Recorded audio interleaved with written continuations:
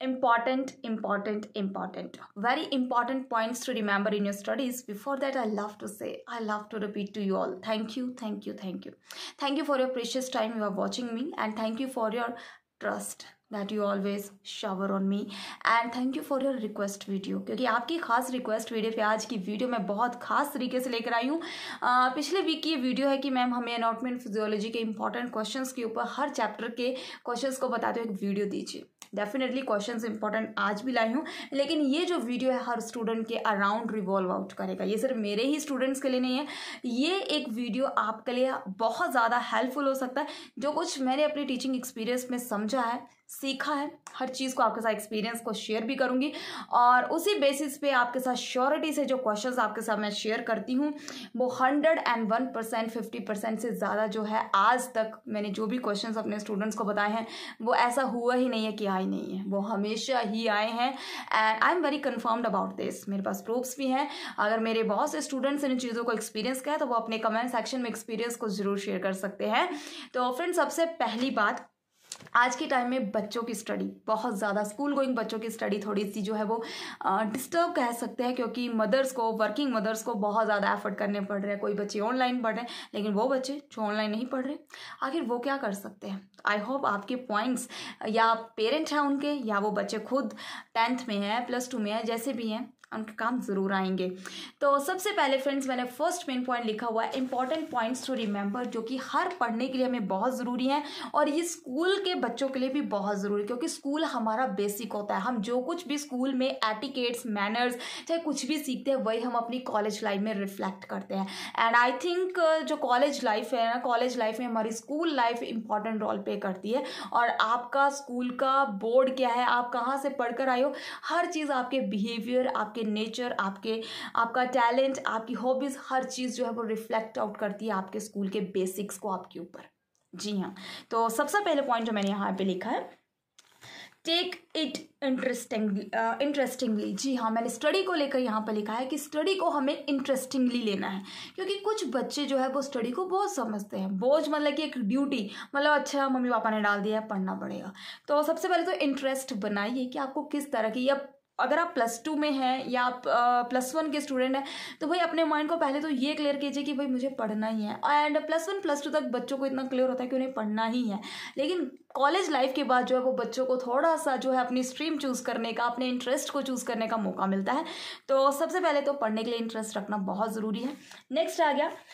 Clear your mind अपने mind को अपना विजन ज़रूर क्लियर रखना चाहिए। हमें ज़रूर क्लियर होना चाहिए कि भाई मैंने क्यों पढ़ना है, मैंने किस लिए पढ़ना है, मेरा टारगेट क्या है? बहुत सी ऐसी चीज़ें होती हैं, ठीक है? नो फोर्समेंट और ज़बरदस्ती जब मन नहीं हो, भाई मन कभी भी नहीं कर रहा, लेकिन ज़बरदस्ती बोझ में आकर ना पड़ो। Be free be free your mind अपने माइंड को जितना फ्री रखेंगे, आपको जैसे some time example free mind की बात करूँ कुछ लोग होते हैं या कुछ बच्चे होते हैं जो अर्ली मॉर्निंग पढ़ते हैं, या कुछ बच्चे होते हैं जो रात तक पढ़ते हैं। तो प्लीज़ अपनी रूटीन को परमानेंटली रखिए। जिस भी रूटीन में आप कंफर्टेबल होते हैं चाहे दिन में पढ़ना पसंद करते हो चाहे अकेले पढ़ना पसंद करते हो चाहे ग्रुप डिस्कशन में बट अपने माइंड को हमेशा फ्री रखें और किसी तरह की फोर्समेंट में आकर ना पड़े एग्ज़ाम्पल कई बार ग्रुप में बच्चे पढ़ते हैं तो ज़रूरी नहीं है कि अगर मुझे ग्रुप स्टडी करना पसंद है तो आपको भी हो। हर एक का अपना अपना पैटर्न है तो किसी के साथ फोर्समेंट में इंडल्ज मत हुई next is the try to relate current जी हाँ ये पॉइंट मोस्टली उन बच्चों के लिए जैसे कि हमारे आ, ऐसे कुछ बहुत से सब्जेक्ट्स होते हैं जिनमें सिर्फ़ हम अपनी लैंग्वेज में बहुत कुछ लिख सकते हैं।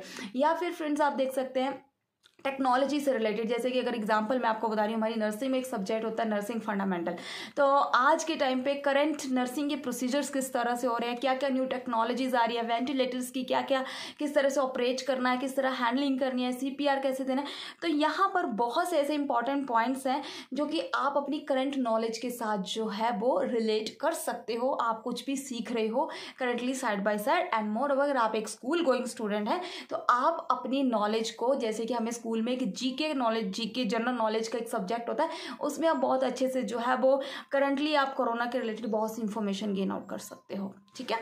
नेक्स्ट आ गया क्लियर एंड अंडरस्टैंड क्लियर मतलब कि आप जो भी पढ़ते हो वो आपको समझ में आना चाहिए और क्लियर भी होना चाहिए कंसेप्ट क्लियर होना चाहिए रट्टाफिकेशन नहीं होनी चाहिए मगिंग नहीं होनी चाहिए बुक्स की अवॉइड पैराग्राफ और हाँ ये मोस्टली जो कॉलेज में बच्चे होते हैं या समटाइम हमें जैसे सी बी एस ई में होता था कि आप जितना भी लिखते हो ग्रेसफुल मार्क्स काफ़ी मिलते थे।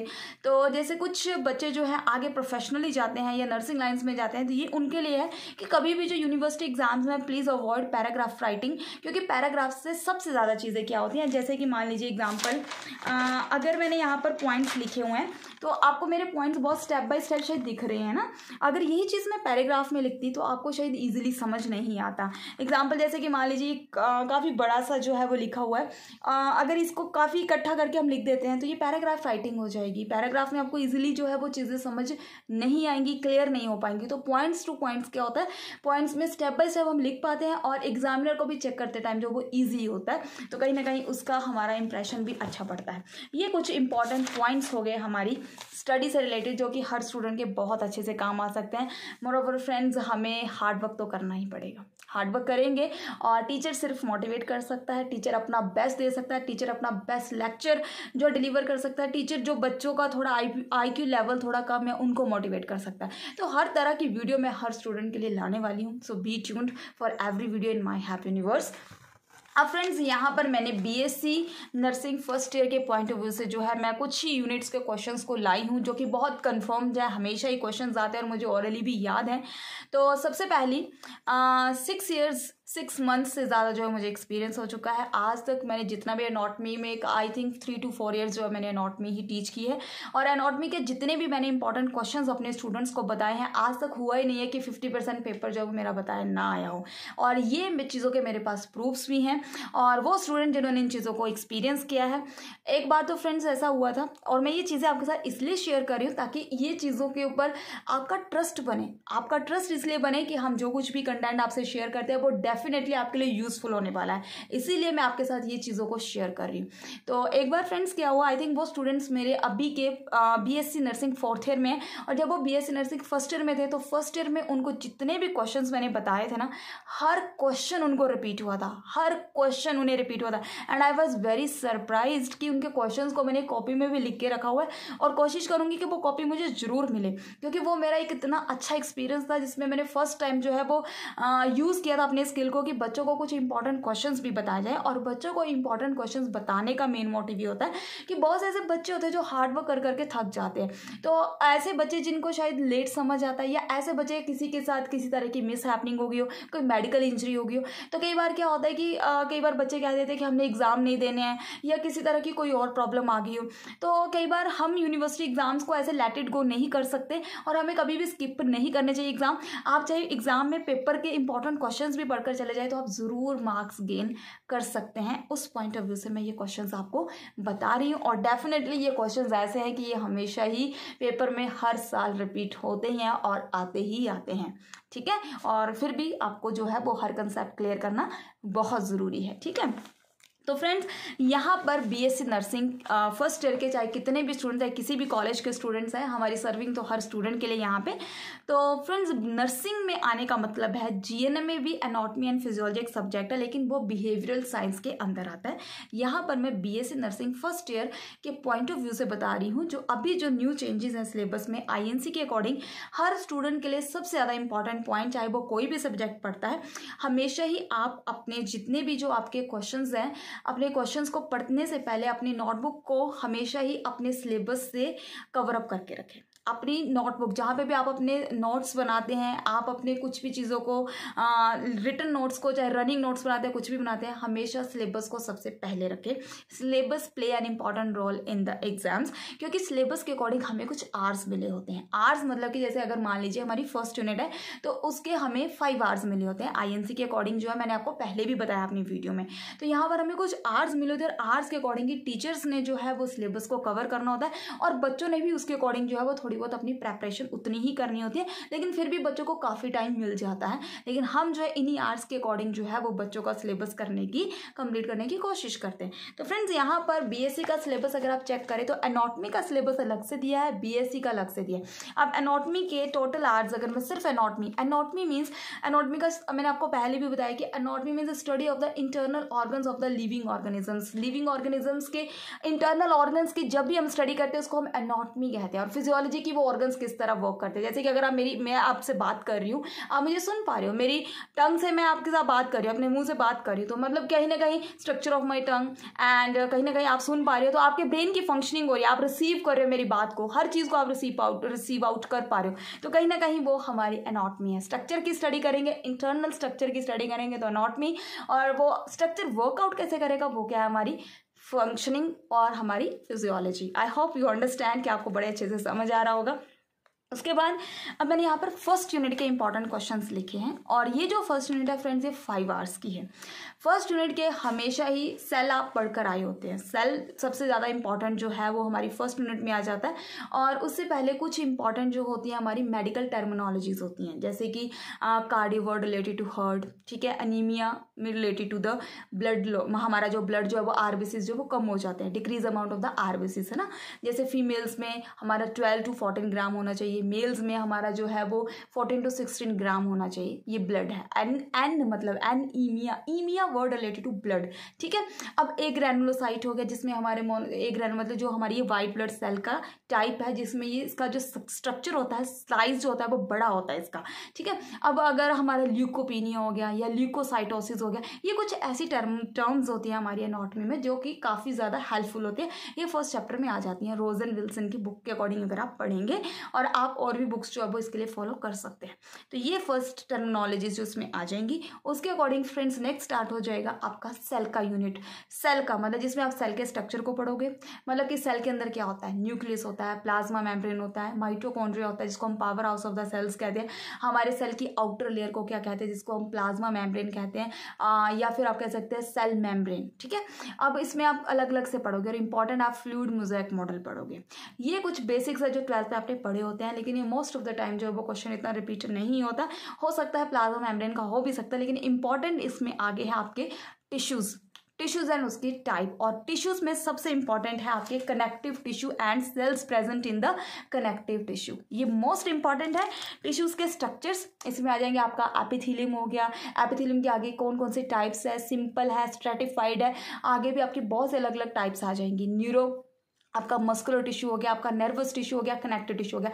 मतलब टिश्यूज जो है ना, कहीं ना कहीं हमारे फोर टाइप्स के होते हैं और इन फोर टाइप्स में सबसे इंपॉर्टेंट है आपका connective tissue connective tissue and cells present in the connective tissue ये क्वेश्चन हमेशा ही फोर टू फाइव मार्क्स में जो है वो आता है। इसमें आप लूज अरियोलर कनेक्टिव टिश्यू का स्ट्रक्चर ज़रूर पढ़ लें। ये क्वेश्चन जो है वो इंपॉर्टेंट हैं। अकॉर्डिंग टू माई अंडरस्टैंडिंग जितना अभी तक मैंने देखा है। ठीक है? नेक्स्ट है यूनिट नंबर टू जो कि एनाटमी की सिर्फ़ स्ट्रक्चर्स है। इसमें है ये सिक्स आवर्स की। ठीक है? सेकंड इसमें आ जाएगा। मेन है बोन के रिलेटेड अब फ्रेंड्स अब आप देखिए बोन में क्या है? बोन मतलब हमारी बोन किससे बनी है? हमारी बोन का स्ट्रक्चर कैसे होगा? बोन्स की हाँ लॉन्ग बोन हो गई फ्लैट बोन हो गई, जैसे हमारी रिस्ट बोन है, हमारी ये वाली बोन है, हमारे लॉन्ग बोन है, हमारी लेग बोन्स है, इन सब की अलग अलग टाइप्स होती हैं। हमारी रिब्स की, जैसे इनको आप पसलियाँ कह देते हो, हर एक बोन के टाइप है, हर एक बोन का अपना अपना स्ट्रक्चर है। ये इसमें सबसे इंपॉर्टेंट पॉइंट आपके लिए जो मैंने यहाँ लिखा है बोन एंड इट्स टाइप और आपको फ़ंक्शंस भी ज़रूर पता होने चाहिए। जैसे कि आपको ज़्यादा से ज़्यादा कैल्शियम लेना है वाइटामिन डी लेना है। Moreover growth and development of bone कौन सी bone compact bone and spongy bone compact bone जो होती है फ्रेंड्स वो हार्ड बोन होती है और स्पॉन्जी बोन होती है हमारी सॉफ्ट बोन जो हमारी बोन मैरो को बनाती है। ये कुछ इस तरह के क्वेश्चन है।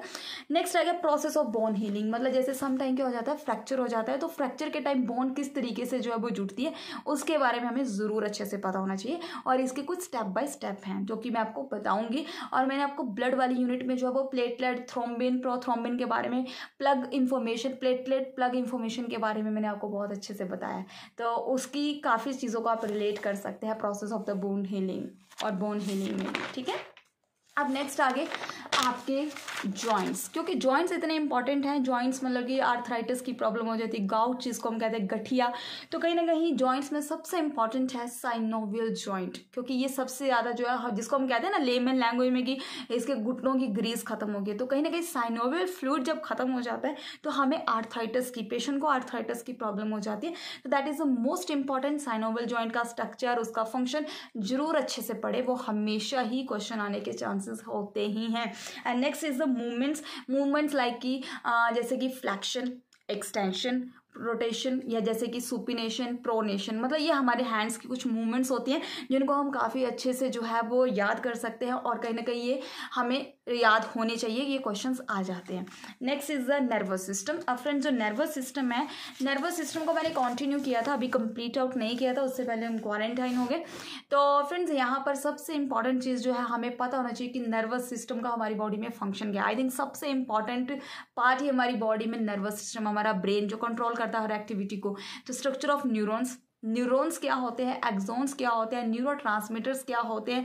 हमारे स्कल की बोन्स हमारी ऑक्सीपिटल बोन फ्रंटल बोन हमारी प्राइटल बोन्स फिनोइड बोन्स कौन कौन सी होती हैं? इन बोन्स के बारे में ज़रूर अच्छे से पढ़ लें। And very most important question is cranial nerves cranial nerves. और याद कर लेना, ऊटा फवगोवा जिसमें मैंने आपको ट्रिक बताया था, ऊटा फवगोवा फॉर एवरी क्रेनियल नर्व जब आप उसके फ़ंक्शंस को पढ़ेंगे, याद करेंगे, आपको क्रेनियल नर्व्स के नाम कभी नहीं भूलेंगे। And definitely I think this video is going to be very helpful for every upcoming nursing student and my all students and every person who is really interesting in nursing and going to be one interested one तो friends ये तो थे कुछ तीन unit के important questions बाकी मैं आपके लिए डिटेल्ड वीडियोस बहुत अच्छे से लाऊँगी आपकी रिक्वेस्ट पे। तो डेफिनेटली जिन्होंने भी ये रिक्वेस्ट की, इन वीडियोस को ज़रूर देखना और अपनी लाइफ में इम्प्लीमेंट करना इंपॉर्टेंट की पॉइंट्स को भी ज़रूर इम्प्लीमेंट करना, क्योंकि कहीं ना कहीं एज ए स्टूडेंट जो हमारी साइकोलॉजी होती है, हम सोचते हैं कि हम सिर्फ़ कुछ बच्चे ऐसे होते हैं जो सोचते हैं हम नॉलेज के लिए पढ़ना है, कुछ बच्चे सोचते हैं मुझे पास होने के लिए पढ़ना है। तो ये अब आपकी चॉइस है कि आपको पास होने के लिए पढ़ना है कि नॉलेज के लिए पढ़ना है, क्योंकि नॉलेज जो है ना हमसे कभी कोई नहीं छीन सकता। मैंने आपसे अपना एक्सपीरियंस शेयर किया कि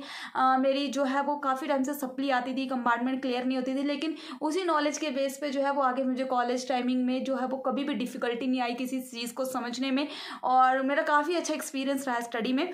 तो I think definitely my this experience going to help my all the students and all the upcoming ones thank you very much कि आपने अपना टाइम दिया इस वीडियो को और जिन्होंने ट्रस्ट करके ये वीडियो रिक्वेस्ट मुझे दी। अगर आपकी कोई और भी ऐसी रिक्वेस्ट है, किसी भी तरह की, किसी भी सब्जेक्ट से रिलेटेड मैं डेफिनेटली आपके रिक्वेस्ट पे, आपके ट्रस्ट पे बहुत अच्छी वीडियोस आपके लिए लाऊँगी।